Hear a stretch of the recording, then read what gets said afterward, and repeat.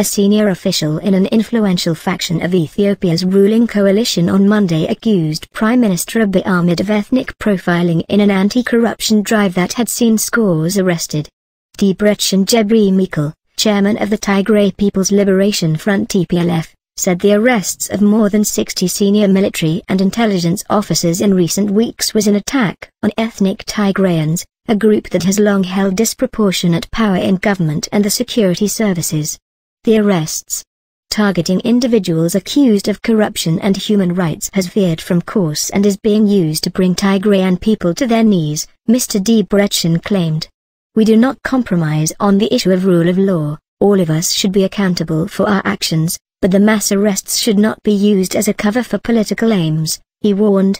The TPLF was a founding member of the long-ruling Ethiopian People's Revolutionary Democratic Front EPF in which Tigrayans have traditionally held the reins of power, despite accounting for only around 6% of the population.